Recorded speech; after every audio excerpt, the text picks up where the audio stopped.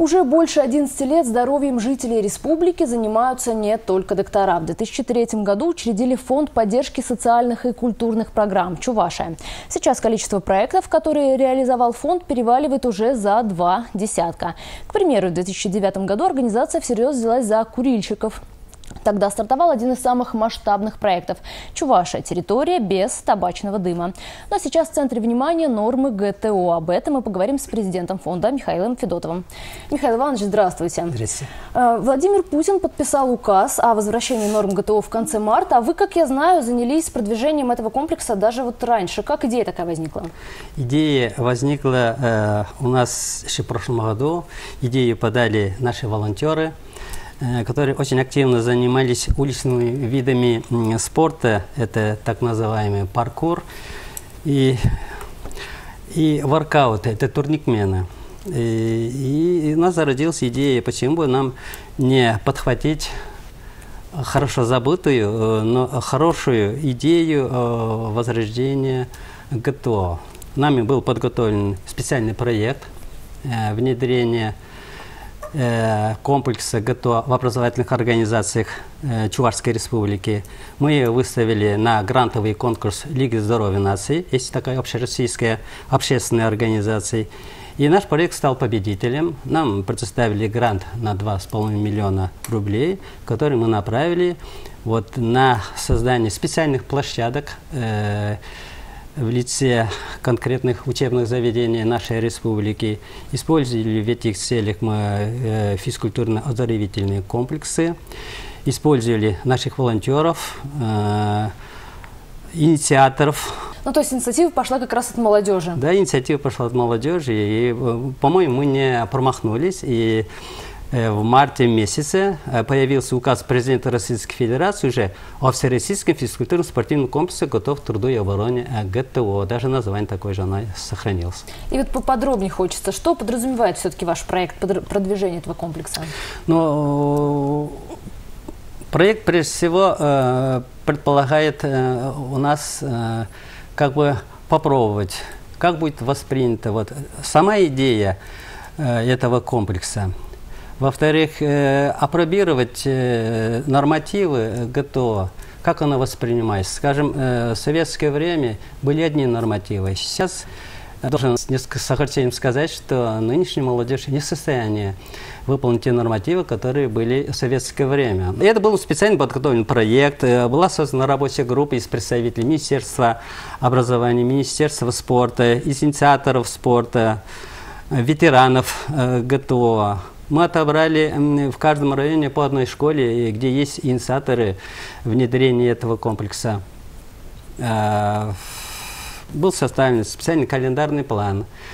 Мы э, попросили физкультурно-оздоровительный комплекс и их руководителей с тем, чтобы э, учащиеся, которые э, по графику занимаются в этих учреждениях, могли себя попробовать сдать все нормы готово. То есть они смогли пройти тестирование по тем или иным видам э, комплекса ГТО. Это у нас получилось. Потом у нас э, в каждом районе в апреле месяце этого года прошли фестивали по сдаче норм ГТО. А в мае месяце э, в Кугейске у нас э, прошел форум республиканский по сдаче норм ГТО. Вот с учащимися, со школьниками понятно, но скоро, скоро нормы ГТО будут сдавать все, да, я так думаю. Вот э, как это будет реализовываться, в какие сроки, может быть, как по стране это будет все вводиться? Начиная с сентября и весь следующий год комплекс ГТО будет внедряться образовательных организаций 12 субъектах Российской Федерации. Так. В число 12 мы не входим. А с 2016 года вот эти 12 субъектов Российской Федерации э, комплексу э, включатся все возрастные группы, всего 11 возрастных групп, начиная с 6 лет до 70 и старше. А в остальных э, регионах Российской Федерации 2016 э, года начинает внедряться комплекс в образовательных организациях. А начиная с 2017 года комплексом ГТО будут заниматься все возрастные группы э, нашей страны. Это не означает, что мы будем ждать 2017 года своей очереди и будем ждать сдачи норм ГТО. Не все россияне новости о возвращении норм ГТО приняли с такой радостью. Э, я думаю, это потому, что люди чаще всего не знают, да, что это означает, обязательно, не обязательно, что будет тем, кто сдал, что будет тем, кому, кто не сдал. Вот это вот как тоже можете прокомментировать? Ну, что должен сказать? Конечно, человек по своей природе, он э, консервативный. И на собственное здоровье не обращает внимания только тогда, когда где-то заболел и вспомнил про свое здоровье. И поэтому я считаю, что э, за долгое время работать с нашими волонтерами и в направлении здравоохранения, могу уверенно сказать, что на здоровьем заниматься надо постоянно, ежедневно. А, э, я еще не договорил. Вот этот комплекс готов включать не только э, нормативы по, э, э, по э, определению своих возможностей, силе, скорости, гибкости, но здесь также определяются э, недельные нормы физической нагрузки.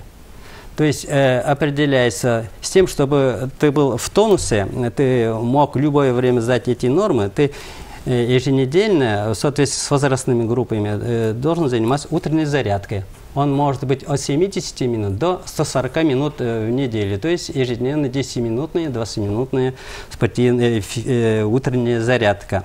Потом э, занятия э, физической культурой и спортом э, в классах.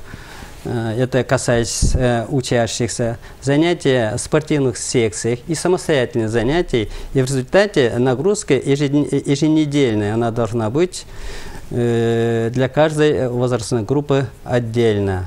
Михаил Иванович, ну то, что здоровьем заниматься своим и спортом нужно, это понятно. И все-таки, может быть, стоит еще раз да, сказать, что это все-таки дело, наверное, добровольное. Да, это один из главных принципов, это добровольность. Здесь не надо загонять людей э, значит, по приказу. Э, каждый человек должен осознать, и ветросвязи, конечно, имеет очень большое значение э, по популяризации вот, Э, комплекса ГТО в Российской Федерации, Чувашской Республики. И поэтому взят такой продолжительный срок, начиная вот 14 по 16 год включительно. Что в этот период э, надо провести соответствующие э, просветительскую, агитационную, пропагандистскую работу с тем, что люди осознают, что этим делом надо заниматься. Это полезно, полезно прежде всего для себя. Конечно, в этой части предусматривается положение э, Э, какие-то меры по мотивации занятий э, по сдаче норм ГТО. Вот вы как раз предвосхитили мой вопрос. Хотела спросить, действительно, кроме здорового подтянутого тела, как все-таки стимулировать будет? Да, это э, интересно, есть моменты вот такие. Прежде всего, для оканчивающих э, среднюю школу при поступлении в ВУЗ будут учитываться э, его результаты э, по сдаче норм ГТО. Это, кстати, должен сказать, что будут внедряться вот такая учетная карточка э, э, по сдаче норм ГТО, куда будут заноситься все эти результаты по каждой ступени, начиная с младшего возраста до, э, до окончания школы, оно будет учитываться. Если, скажем, у меня золотой знак э, по сдаче норм ГТО, конечно, он будет учитываться в бальной по баллам при поступлении в ВУЗ. Для обучающихся в ВУЗах, и который сдал э, э, на золотой знак, скажем, комплекс ГТО, также он может претендовать на м, повышенную стипендию. А если говорить не обучающихся, Да, а что касается не обучающихся, э, будут сделаны рекомендации руководителям организации, предпринимателям, чтобы они в своих коллективах предпринимали меры по э, стимулированию участия э, в сдаче норм ГТО. Они заинтересованы. Да почему? Они заинтересованы в здоровых своих работников, чтобы меньше были на больничных листах, активно работали и не болели. В этой связи э, предлагается, э, оказывается, субсидировать э, по аренде спортивных залов, сейчас видишь, как бы платные. С другой стороны, э, надо, можно предусматривать дополнительные дни, два или три дня к очередному отпуску. Это тоже было бы неплохо, скажем, если летнее время. Спасибо. Я напомню о нормах физической активности «Готов к труду и обороне». Мы говорили с президентом фонда Чувашия Михаилом Федотовым. До свидания. Спасибо.